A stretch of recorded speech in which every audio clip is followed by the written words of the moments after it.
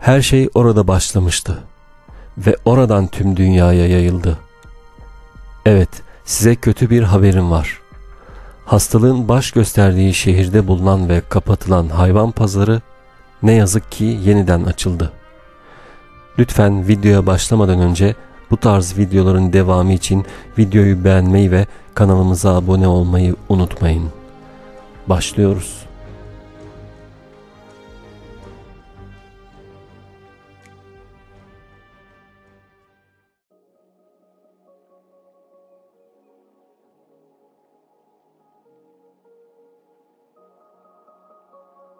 Dünyada yaklaşık 34 binden fazla kişinin kaybına sebep olan malum hastalığın çıkış noktası olan vahşi hayvan pazarı maalesef yeniden açıldı. Ülkenin bazı bölgelerinde yarasa satışlarının yapıldığı görüldü. Pekin hükümetinin yasaklamalarına rağmen Çin'in bazı bölgelerinde vahşi hayvan satışlarının yapıldığı görülüyor.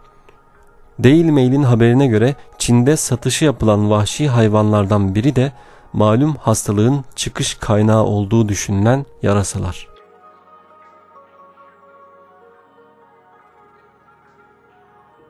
Çin'in salgını tamamen kontrol altına aldığını açıklamasının ardından sokağa çıkma yasaklarının son verilmesiyle kentlerdeki hayat yeniden eskisi gibi işlemeye başladı.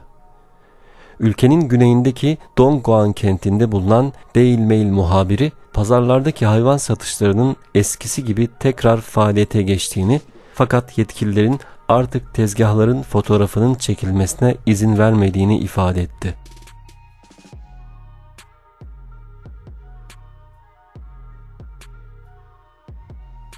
Çin'in güneybatısındaki Guilin kentindeki bir başka muhabir de yarasaların, yılanların, örümceklerin ve akreplerin hastalıklara şifa niyetiyle satıldığı bir mağazanın reklam pankartının fotoğrafını çekti.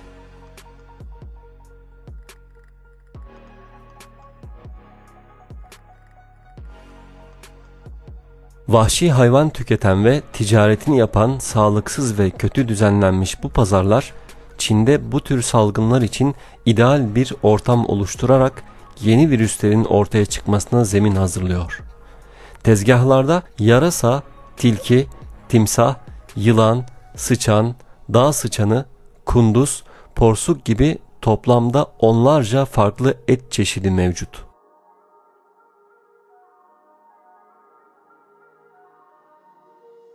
Çinli bilim insanları tarafından hazırlanan bir rapora göre malum hastalık insanlara yılan veya yarasalardan değil bir çeşit karınca yiyen pullu pangolinlerden geçmiş olabilir. Virüsün kendisi ilk olarak yılan veya yarasa gibi başka bir vahşi hayvanda baş göstermiş olsa da insana bulaşmasını sağlayan mutasyonu pangolinlerde geçirdiği düşünülüyor. Dünyadaki tek pullu memeliler olan pangolinler Asya'da yiyecek ve ilaç üretimi için öldürülüyor ve çoğu zaman yasa dışı şekilde ticareti yapılıyor.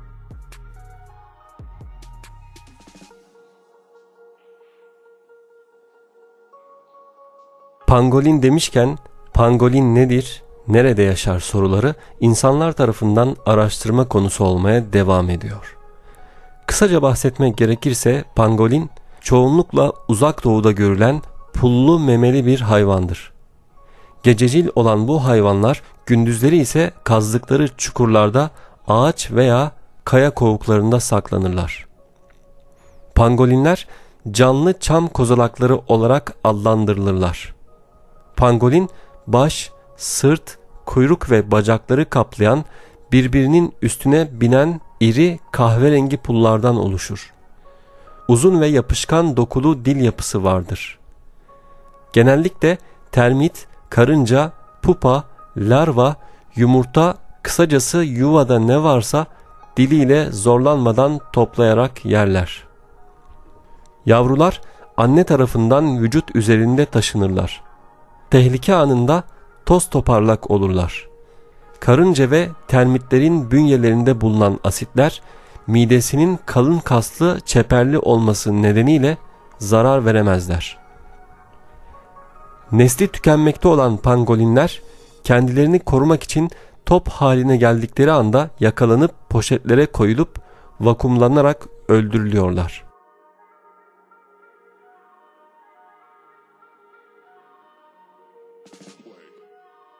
Vücutları kiremit gibi dizilmiş büyük keratin pullar sebebiyle kozalaksı görünümündedirler.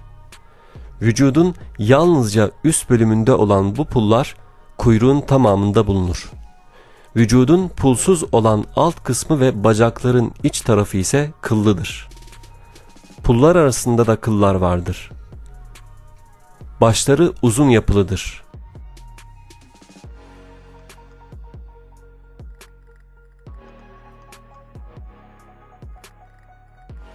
Alt çene basit iki kemik köprü kalacak biçimde körelmiş, angular ve articular çıkıntı yoktur.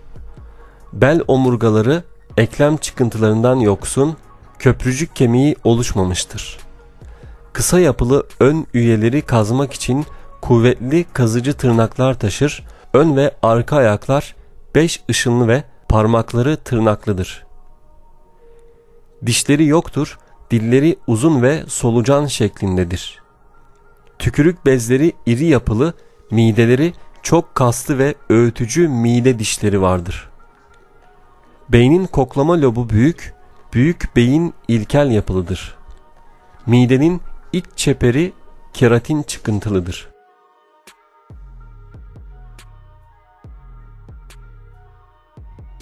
Pangolinler böcekçildirler. Besinlerinin önemli bir bölümünü karınca ve termitler oluşturur. Doğadaki termit popülasyonunu kontrol etmede önemli bir regülatör görevi üstlenirler. Görme yetileri sınırlı olduğundan avlarını koku ve duyma yetileriyle yakalarlar. Güney Çin Tarım Üniversitesi uzmanları dünyayı etkisi altına alan malum hastalığa neden olan virüsün pangolin denilen bir memeliden yayıldığını öne sürdü.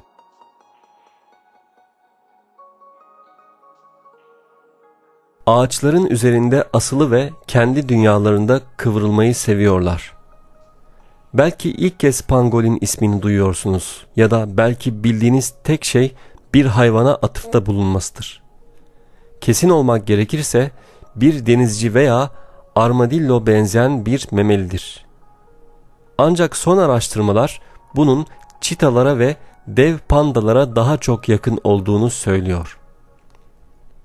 Vücutlarında ve kuyruklarında enginarlara benzeyen ölçekler örtüşüyor.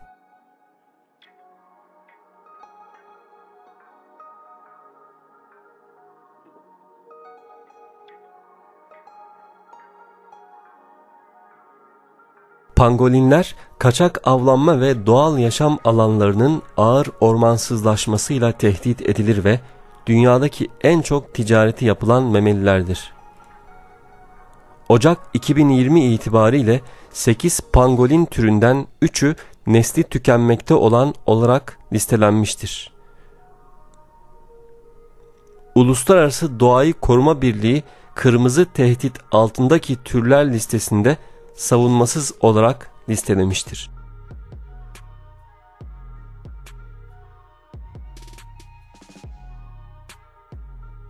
Evet arkadaşlar bu videoyu bilgilendirici ve faydalı bulduysanız eğer lütfen videoyu beğenmeyi, yorum yazmayı ve kanalımıza abone olmayı unutmayın.